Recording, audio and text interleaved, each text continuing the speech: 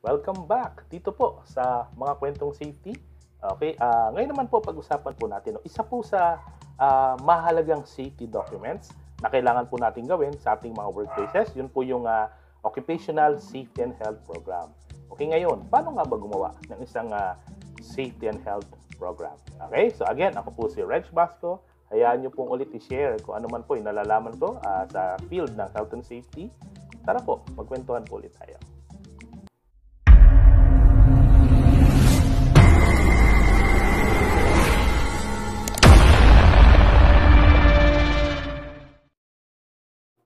Kung kayo po ay ah, natapos na ang inyong ah, basic courses sa safety, kayo po ay nakapag-BOSH na or nakapag-COSH, alam nyo na po no, kung ano po ba yung mga dapat gawin no, para masigurado na safe and healthy po lahat po ng kasama natin sa ating mga workplaces, lalo na po yung ating mga workers. Okay, ngayon ang tanong po, no, paano nga ba ito talaga mapapa-implement sa workplace? Ano yung sisimulan mo? Okay? So, isa po dyan, no, sa una nyong dapat gawin is the safety and health program. Okay? Dito po kasi medyo lilinaw, no, kung ano ba talaga yung gusto nyong mangyari sa workplace ninyo, no? Ah, kung paano nyo ba didiskartihan yung pagpapa-implement ng ah, health and safety. Okay? Ngayon, define muna natin. Ano ba ang Safety and Health Program or yung OSH program? Okay? So, Safety and Health Program refers to a set of detailed rules to govern company policies, processes, and practices in all economic activities to conform with the OSH standards, including the personnel responsible and penalties for any violations thereof. Okay? So, ito po ay isang dokumento, okay, wherein dyan po nakasulat lahat no, ng procedures and guidelines kung paano nyo gustong mangyari or paano nyo gustong ma-implement okay, yung health and safety sa workplace po ninyo. Kumbaga dito, no, ah, nakalagay, no, naka-document, hindi lang po verbal, paano mo gagawin yung isang activity na, sisiguro, na para masigurado na safe lahat. Okay, so in other words, the Occupational Safety and Health Program is a document na nandyan lahat. Kunyari, tinanong ka, okay, ah, paano mo masisigurado na safe and healthy lahat ng tao dito sa inyong workplace? Oh, parang ganito yan, no? Ah, one way po para masigurado ko na safe and healthy po sila lahat is susundin ko po kung ano man yung nakalagay sa aking safety program. Lahat ng nakasulat dyan, susundin namin sa workplace. Okay? Ah, baka tanong nyo, no? Eh, meron ng safety standards. Bakit pa kailangan gumawa ng safety program? Hindi ba pwede yung OSH standards na lang yung gamitin naming guide? No? Of, ah, of course, pwede po. No? Kaya lang, ah, pag gumawa ka kasi ng safety standards, ah, pag gumawa ka ng sarili mong safety program, medyo mas specific kasi yung guidelines mo kung ano-anong activities man meron kayo sa workplace. Okay? Kumbaga, binigyan tayo ng chance na ah, mag-decide. No? Paano ba natin gagawin ah, na safe? Yung mga, kung ano mga activity meron tayo. Remember po, iba-iba tayo ng industries. May construction, no? may mga planta, may mga restaurant, okay? Iba-iba. So, iba-iba ah, yung way na ng pagpapa-implement natin kahit pa meron tayong isang sinusundan na ah, guide which is the OSH standards. Okay, tandaan nyo lang po, no? Binigyan tayo, no, ng karapatan na kumbaga diskartihan yung health and safety sa workplace pero tatandaan po ninyo, wag na wag po kayong magva-violate kung ano man po yung nakalagay sa OSH standards natin. Okay, hindi po natin pwedeng ah, kumbaga hindi tayo pwedeng mas maging maluwag. Okay, dapat po mas ano tayo, ah pwedeng mas mahigpit, okay? Pero hindi po pwedeng mas luluwag kayo sa OSH standard, okay? And tandaan po ninyo, nabanggit ko, safety program po or the OSH program, required po yan sa lahat ng industry. No? Hindi lang po sa construction sites, hindi lang po sa mga planta, lahat po, regardless kung ilan ang tao ninyo, regardless kung anong activity ninyo, basta po kayo ay work establishment, kailangan po meron kayong occupational safety and health program. Okay? And in fact, naka ah, lagay po sa ating Department Order 198 no na pag wala kayong safety and health program, ang penalty po dyan is 40,000 per day. Ulitin ko po, all industries, regardless kung ilan ang tao niyo sa workplace, regardless kung ano-ano lang ang activity niyo sa, work, sa workplace ninyo, kailangan pa rin natin mag-comply. Dapat lahat tayo may kanya-kanyang safety and health program. Okay? Ulitin ko po, bawat workplace. Uh, example, okay? uh, isang company kayo pero marami kayong branches. Okay? So, bawat isa po nun may safety program. Okay? Hindi naman ibig sabihin na yung safety program mo sa branch 1, iba naman yung sa branch 2. Hindi po. Pwedeng meron na kayong draft. Okay? Kasi same activities lang naman yan eh. Although yung location, posibleng may maging additional hazard, depende sa location. Baka yung isang branch mo, malapit ka na sa, sa bulkan. Okay? Yung isa, malapit ka na sa, sa ilog. So may madadagdag na hazards. Pero mer yung isang draft, pwede na yon no? Uh, ngayon, i- i-revise nyo na lang, i-edit nyo na lang, depende sa, sa area.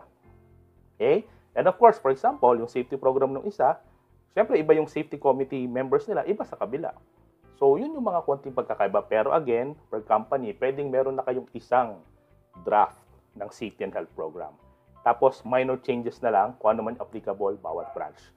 Okay? So, mali na po yun ha. Bawat area po kailangan ng safety and health program.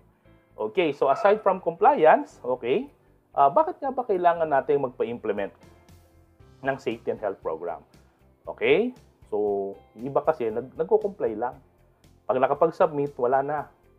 Okay, nasa ano na yan, nakatago na yan kung saan. Ni hindi man lang nabuklat, ni hindi man lang na-review. Okay, so ano bang benefits, no? Uh, pag may safety and health program kasi tayo, nagkakaroon ng commitment yung owners tsaka top management sa safety. Okay, mamaya po malalaman yan, okay? And of course, nagkakaroon tayo ng guide. Okay, so we can protect our workers, okay, by implementing control measures, and again, may guide tayo paano ba gagawing safe yung isang activity.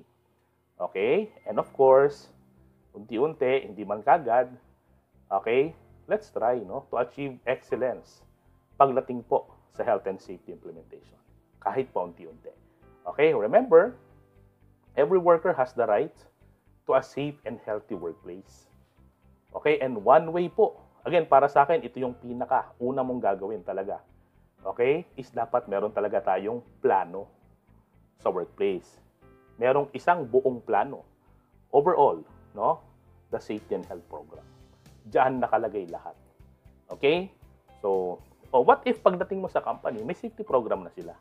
Okay? So, hindi mo na kailangan gumawa. Okay? Reviewin mo na lang. Be familiarize. Ano ba yung laman ng safety program? If sa tingin nyo may kailangan i-update, may kailangan i-revise, pwedeng gawin. Okay? Ngayon, kung wala pa talagang safety program sa company, kailangan nating gawan. Sino ba gagawa niyan? Okay? Uh, hindi naman sinabing si safety lang.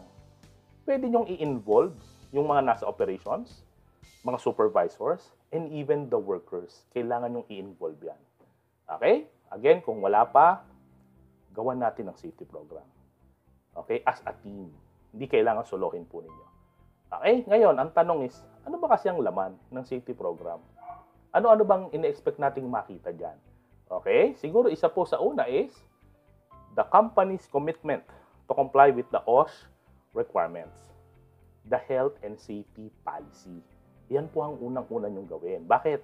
Diyan po kasi sa safety and health policy, no, magkukumit yung owner or yung top management na whatever is written sa ating safety program, uh, susuportahan nila. Kailangan ng trainings, susuportahan nila. Kailangan ng budget, susuportahan nila. Okay? So, number one po ito para sa akin, yung commitment. Mangangako si owner, no? the top management, na kung ano man yung nakalagay dito, hindi lang ito papel na pinirmahan and inapruban, ito po ay guide natin na gagawin natin sa workplace. Napakahalaga po nito, the management uh, uh, commitment. Okay? So, here is an example. Simple lang, no? Hindi nyo kailangan pahirapan Basta po ang mahalaga dyan is uh, makita po na committed talaga, okay, the owner, okay, uh, na mag-comply, okay, sa ating uh, uh, safety and health program o yung plano natin sa safety. Okay? Ano pa mga pwedeng ilagay dyan? Of course, sabi ko nga per workplace ito. Okay? So, lagay nyo po yung complete company or project details. Kung ano man. Address, location, company name, ano ba yung mga services na meron kayo, kahit brief description lang, saan ba ang location ninyo, ilang ba ang total manpower ninyo, ilan ang, ilang ng shift, okay, ilan ang babae, ilan ang lalaki, ano-anong machines ang meron kayo, ano-anong equipments ang meron kayo, okay, lahat ng basic details. Okay, and this is one of the reasons bakit nga kailangan per workplace ang paggawa ng safety and health program. Okay? Next, of course, lahat po ng safety and health personnel. Sino-sino ang safety officers? Sino-sino ang health personnel? Pag sinabing safety officers, no? Uh, SO1, SO2, SO3, SO4. Okay? And i-attach nyo yung certificates. Sama nyo dyan. Okay? Of course, photocopy lang. Okay? Huwag nyo lalagay original, no? And uh, health personnel, again, depende. Ano bang required sa inyo? For, uh, first aider, nurse, may, kailangan nyo ba ng dentist, or physician? O kung ano man yung required sa inyo, may guide naman tayo sa DO198, may chart doon. Lagay nyo, attach nyo lahat dyan. Certificates nila, names nila, lagay nyo dyan. Okay? And of course, facility. Depende ulit sa requirement. Kailangan ba natin ng uh, clinic? Kailangan ba natin ng first aid station? How about yung uh, MOA or Memorandum of Agreement with the hospital? Kailangan ba natin? Okay, first aid kit, ano laman? Kailangan ba natin na stretcher? Lagay nyo dyan. Okay, i-commit natin yan dyan para mabudgetan. Yan na po yung chance natin. Okay? So, ganun po, no? And uh, safety responsibilities, ito po, i-grab ulit natin. Ilagay nyo na lahat dyan. Safety responsibility of the employer, safety responsibility of the supervisors, safety responsibility of the top management, safety responsibility of the safety officers or the safety team, safety responsibility of the workers, operators, lagay nyo lahat dyan. Remember, nakalagay yan dyan, pipirmahan ng owner, masasubmit kay Dole, o ayan po. Next po, ilagay din natin no, yung uh, composition and duties of the Occupational Safety and Health Committee. No? Ilagay niyo yung members, yung pangalan mismo, lagay po ninyo. Sino ang chairman? And of course, ang secretary, the safety officer, and sino-sino ang members. Okay? And bukod doon, ilagay nyo rin, no? Ano ba ang uh, functions ng Safety and Health Committee? No? Bakit bakit ba natin binuo ito? No? Lagay nyo po diyan. And aside do sa overall function ng committee, lagay nyo rin po, no? Ano ba yung uh, uh, duties ng bawat member para malinaw? Okay? Sama nyo po yan, the Safety and Health Committee. Next, yung HIRAC. Okay? So kung kayo po ay nakapag-bosh, nakapag-cosh na, or yung iba nga po sa inyo is uh, naka-attend na po ng uh, advanced training na HIRAC, uh, lagay nyo po dyan uh, ano yung format na ginagamitin ninyo. Okay? And kung pwede nga lang po, yung initial HIRAC. Meaning nakapag-HIRAC na kayo. Siyempre po, uh, kung anong po na itsura ng workplace, kunyari construction site, kung ano itsura pa lang ng construction site that time, pwede nyo naman ilagay din dyan. But of course, ang HIRAC, alam naman natin, hindi lang isang beses ginagawa yan. Okay, inuulit po natin ulit yan, okay, periodically. Okay, so kung gusto nyong isama sa safety and health program ninyo, yung form lang muna. Or kung gusto nyo na mag-conduct na kayo ng isang HIRAC, uh, ilagay nyo po dyan. Okay? Uh, huwag kayong mag-alala, no? Uh, gagawa rin po tayo ng guide, no? ng video. Uh, paano ba gawin yung HIRAC? No? Re-reviewin po natin doon. Okay? And uh, safety and health promotion. Alam naman natin, isa sa functions ng safety uh, officer is to conduct training sa mga tao. Okay? So, pag sinabing safety and health promotion, paano mo gagawin to? No? Usually, we have four types of training, di ba? Na kailangan gawin sa workplace natin. Okay, we have the safety orientation, the mandatory workers o seminar, yung 8 hours. Okay, lagay nyo dyan sa safety program, paano nyo gagawin? Tuwing kailan kayo magkakandak? Ano-ano yung topics? Okay, even yung attendance sheet, yung sample form, lagay nyo dyan. Isama nyo, no? Isama nyo sa safety program ninyo. Okay, toolbox meeting. No? Tuwing kailan nyo gagawin? Sino-sino magkakandak? Okay, oh, pati yung gusto nyong sample form, lagay nyo. Okay, pwede naman din po yan. Okay, para nakikita na kagad na meron na talaga kayong plano. Kung wala pang form, since uh, let's say nag-start pa lang kayo from zero sa safety, uh, okay lang kahit nyo muna ilagay. No, wala namang problema. Ang mahalaga kasi sa safety program is kung paano mo siya gagawin, yung procedure. Okay, so bukod, bukod po sa safety orientation tsaka toolbox meeting, another training is uh, yung pong ating uh, in-house trainings, kumbaga, na tinatawag. For example, uh, sa tingin niyo kailangan nyo mag-conduct okay, ng training, okay, uh, let's say 10 employees, ang gusto mong topic, electrical safety, pwede nyo pong gawin yun. Okay? Eh, or for example, uh, five selected uh, operators, gusto nyo turuan paano mag-conduct uh, ng inspection sa forklift, pwede nyo gawin yon. Yun yung mga in-house training. Na kayo din po ang magde-decide kung ano and kailan. Okay? And of course, yung safety committee, that is another type of uh, na pwede natin gawing training. Sinabi natin kanina, dagdag ko na lang din po itong job hazard analysis or yung job safety analysis. Ilagay nyo po dyan. Okay? Siguro yung procedure lang. Of course, di pa naman kayo makakagawa ng, kumbaga, lahat ng gusto mong JHA nandyan na or JSA. Yung form, okay, yung gagamitin nyo, pwede mo nang ilagay dyan. And kung kailan gagawin, okay, sino-sino yung gagawa ng job hazard analysis. So, nakukuha po ninyo, no? Okay, uh, ito pong uh, safety program is parang nilalatag mo yung plano kung paano mo gagawin yung implementation sa workplace. Okay, ganun po siya. Okay, hindi lang siya nakalist down isa-isa, meron pa siyang nakalagay na procedures kung paano gagawin. Okay, that's why nga po ang safety program, nire-review talaga yan. Kasi later on, pwede mo pang mapalawak yung laman yan ng safety program ninyo. Okay? And uh, accident uh, investigation, ano ang procedure, Okay, ano-anong types of accidents na, na inyong uh, investigate, sinong investigating team. Okay, lahat po, lagay niyo po dyan. Okay, uh, para po uh, medyo may guide na din. Okay, uh, para yung reporting nito sa DOLE. Okay, lagay niyo po lahat dyan. Okay, and of course yung emergency and disaster preparedness. Okay, di ba, dinisas din po sa inyo to. Okay, sa inyong mga trainings. Okay, lagay niyo dyan, no? Uh, sino ang, uh, kumbaga, emergency response team? Lagay nyo. And yung mga procedures, no, what to do in case na may fire, may earthquake, may typhoon, may flood, may volcanic eruption, may bomb threat, ilagay nyo po dyan yung procedures. Okay, ilagay nyo po dyan yung kailangan na trainings ng mga tao, ilagay nyo rin po dyan yung uh, ang mga uh, kailangang gamit. Okay? Uh, kaya nga po, kagandahan ng safety program, nalalagay dyan, magko-commit yung owner, mababudgetan.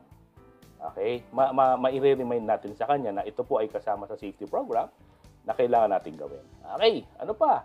Uh, for health naman po, we have the medical surveillance. No? Uh, for early detection and management of occupational work-related diseases. Okay, yung pre-employment check-up, yung annual check-up, okay, and ina-analyze natin, uh, kamusta na ba yung health status ng bawat isa. Lagay nyo dyan kung paano nyo gagawin.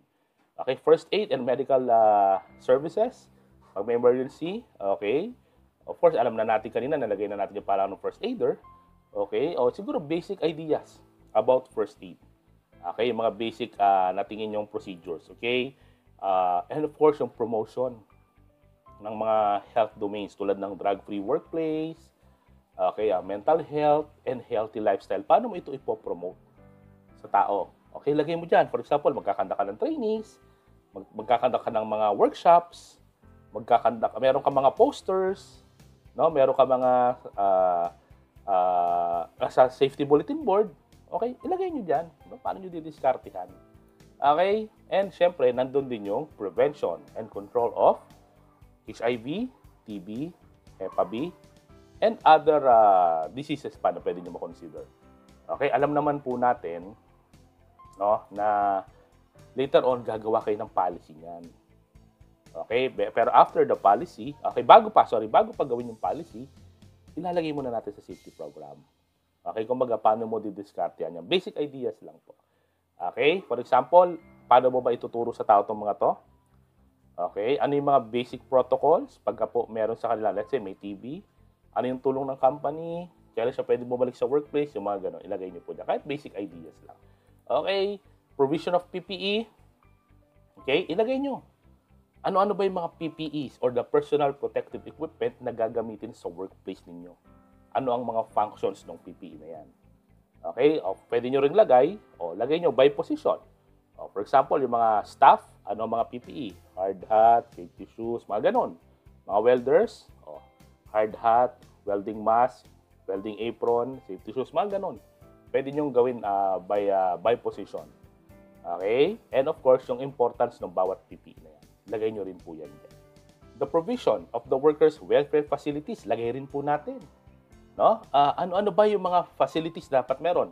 Hand wash area, toilets, okay, smoking area, barracks, okay, uh, mga ramps, railings, okay, in some uh, offices, kailangan po ng lactation station, okay, so ilagay nyo dyan. Ano-ano lang na klase ng facilities ang ipoprovide natin for our employees. Okay? I-highlight lang po natin yan. Okay? And then, uh, signages. Okay? Pwede nyo gawin dyan, no? Maglagay kayo ng sample ng mga signages. Okay? Yung sample mismo, ilagay nyo na dyan. Okay? Yung mga design. If wala pa, or just write down. Ano-ano bang mga signages yung ini-expect mong ilalagay mo sa workplace mo. Okay? Sulat mo lang, ano-ano bang signages and ano yung purpose ng signage na yon. Oh, ganun lang po. Ganun lang po nyo na siya ilalagay sa safety program. Para kang nagko-commit niya na ito, ito yung mga signages namin, ilalagay namin pag may ganito. Okay? Ah, ganun po siya. Solid waste management, uh, basic ideas din po ito for uh, uh, housekeeping and yun nga po, uh, waste management, no? Because you will be working with your PCO kung meron, the Pollution Control Officer. Okay, kung wala naman po PCO, since part din naman ng safety ang housekeeping, okay, so lagay nyo lang po dyan, paano nyo didiskartehan tuwing kailan ba kinukuha ang basura. Pag may hazardous waste, ano gagawin natin? Iba, ang, iba po ang uh, protocol pag hazardous waste. Alam naman po natin yon no? Uh, segregation, okay? Or yung responsibility ulit ng bawat isa when it comes to waste management. No? I-highlight nyo po dyan. Okay? And then, uh, work permit system. Depende na po ito kung meron kayong critical activities like hot works, okay, work at heights, okay, confined space activities. Okay? So, ilagay nyo lang po dyan ano-anong activities ang mayroong work permit. Okay? And dapat po, ano ang protocol? For example, dapat ba uh, yung bang work permit valid every shift? Okay? Sino ang dapat uh, gumawa ng work permit? Sino dapat ang mag-approve? Lagay nyo po dyan sa safety program niyo. Okay? And of course, yung dust control. No, again, if applicable lang naman sa workplace ninyo. Okay? So, lagay lang po kayo ng mga protocols. How would you handle dust? Okay? So, ganun lang naman po kasimple. No? If applicable lang naman sa inyo. Lahat po ng diniscuss natin, normally, halos lahat naman yung applicable. Pero itong dust, okay, depende po sa inyong workplace. Okay? And, ito po, chance na natin. Okay? Uh, one way po to uh, handle yung mga kasama po natin sa workplace, okay, is ito pong uh, disciplinary action. Okay, meron tayong uh, penalties for violations, pero uh, ako po, suggest ko lang ha, hanggat maaari po, ayoko na ang penalty ng mga tao is pera. Okay? Pero more on that po, gagawin ka po ng sariling video, paano ba natin uh, pwedeng gawin ng tama Okay, itong mga uh, penalty system natin for our workers. Diba? Halimbawa, not wearing hard hat, first offense, second offense, third offense. Horse playing, first offense, second offense, third offense. Throwing of tools from one floor level to another or from one employee to another. First offense, second offense, third offense. Diba? May ganun tayo. Okay? So, lahat ng maisip po ninyo, pero pag-usapan nyo muna lahat, no? Isama mo sa safety program para po later on, pag meron kayong uh, isususpinde or if not, baka ma-terminate pa na tao for uh, serious safety violation, hindi kayo mababalikan ng dole. Kasi hindi mo lang inimbento yung parusa mo doon. Okay? Kinumit mo yon sinama mo dyan, naipasa mo sa dole, na-receive nila. Okay? So, naging valid document siya ngayon. Okay? Pero al- alam nyo, medyo matrabaho pa ito. Huwag nyo pong basta-basta isasama lang. Uh, this must be discussed sa lahat po sa company. Okay? Uh, later on po, gagawin ko rin po ng video yan. Okay? Ayan, ito po. Dito na tayo magkakaiba-iba talaga. Depende na sa workplace nyo. Okay? Control measures sa mga hazards. Okay? So, depende po, again, kung anong establishment ninyo. Ma, ito po, uh, yung nakikita nyo ngayon sa screen, hindi lang naman ito yan. Sample lang po yan. Again, depende po sa establishment ninyo. Okay? Albawa, uh, kayo po ay nasa planta, o ano ba dyan mga applicable sa inyo? Kayo ba ay nasa construction? Kayo ba ay nasa general office? Kayo ba ay nasa laboratory? O kayo ba ay nasa mining? O, depende po. Pero again, hindi lang po limited sa mga nilagay ko dito. Samples lang po ito. So, kung kayo, albawa, kung applicable sa inyo ang excavation, so palawakin mo yan. Paano, ano yung procedures mo, safety protocols mo, pag may excavation? Okay? O, halimbawa, applicable ulit sa inyo ang scaffold. O ano ang mga protocols ninyo pagdating sa scaffold. So, lalawak po ulit yan. Okay, again, this time po, depende sa workplace ninyo. Okay, uh, depende sa activities ninyo. Medyo dito po tayo magkakaiba-iba, depende sa industry. Okay, ngayon, ang tanong, paano ba mag-submit ng safety program? Okay? Or paano ba mag-prepare? No? Paano ba talaga sisimulan? Ito po. So, for kuya po yung nasa construction industry, usually ang tawag po natin dyan is the CSHP or the Construction Safety and Health Program. No? So, of course, first step, gagawa ka ng pro, uh, programa. Okay? Binigyan na po na tayo ng guide. No? Hanggat maaari, basic guide lang naman po yun. Marami pa kayong pwedeng idagdag doon. Okay? Na, pero usually, yun na po yung laman ng safety program. So, gawin natin, pag nagawa na po, ipapa-approve natin sa top management and the employer kasi kailangan nilang pirmahan yan doon sa safety and health policy. Mga ngako, magko-commit sila no, na gagawin kung ano yung mga nakasulat na yan. Kaya re-reviewin din nila yan. Ngayon, pag okay na sa company natin, okay na sa employer, okay na sa top management, isasubmit mo na ngayon sa DOLE. Okay, and take note lang po, pag construction, may mga forms po na kasama yan. Okay, na nada-download naman po iyon. Okay, depende sa, sa uh, klase ng construction ninyo. Okay, pag submit sa DOLE, hantayin nyo po, re-reviewin nyo ng DOLE. Usually, ang unang gagawin ng DOLE dyan, i-receive muna Okay? Babalikan niyo yan, pa-follow up nyo, usually one week, two weeks, depende po, no? Pagbalik, malalaman nyo na kung may kailangan kayong baguhin, okay? And of course, yung approval. Okay? So, yun lang po, no? Uh, malalaman nyo naman kung anong comment po nila. Okay?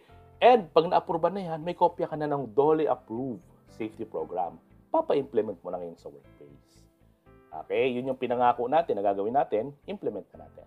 Okay, eh sir, wala naman kami sa construction. Nasa ibang industry kami, paano ba? Similar lang po. Actually, okay, gawa kayo ng safety program, pa-approve nyo rin sa top management and sa employer, submit nyo sa DOLE, but this time, hindi na po kailangan ng approval ng DOLE. Kasi po, yung pirma daw po ng top management or ng uh, owner, good as approved na po. Okay na po sa kanila yon. Na binasa yun ng owner, nag-commit siya. Okay? Submit nyo lang po. Kuha lang kayo ng receiving copy. Again, hindi na po kailangan approval. And of course, pa-implement mo na ngayon sa workplace nyo. Okay po. Okay. So, next. Okay? Uh, sabi po sa ating uh, DO 198, okay, the OSH program shall be communicated and be made readily available to all persons in the workplace. Kung ano man yung nilaman ng safety program natin, kailangan po malaman niya ng lahat. May discuss po yan dapat sa lahat all levels. Workers, co-employees, supervisors, staff management.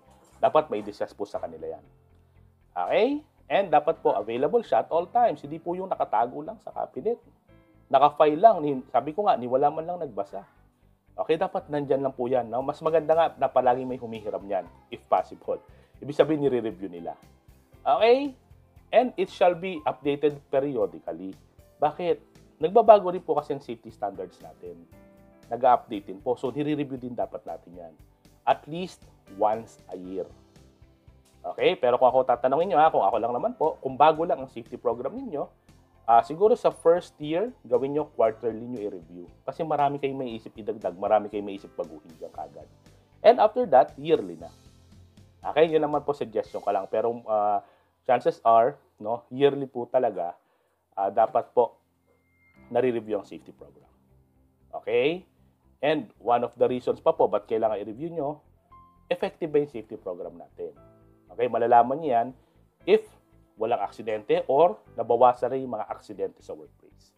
Pag maraming aksidente pa rin, kailangan po talagang review ng safety program. Baka may kailangan tayong i-revise, baka may kailangan tayong idagdag na protocols. Okay? So, tandaan po ninyo, no? Uh, knowledge is not power. Implementation ang mahalaga. Okay? So, actually okay din naman na alam natin itong mga to. Meron tayong safety program, may document tayo, approve ng DOLE, for example, approve ng owner. Pero the best pa rin po yung pagpapa-implement nito. Okay? Kung mahirap po ang paggawa ng safety program, matrabaho ng sobra, uh, actually baka 10% pa lang yun ang problema natin. The whole 90% is pagpapa-implement nito. Okay? So again, safety officers, the challenge is there Okay? Uh, tibay ng loob po.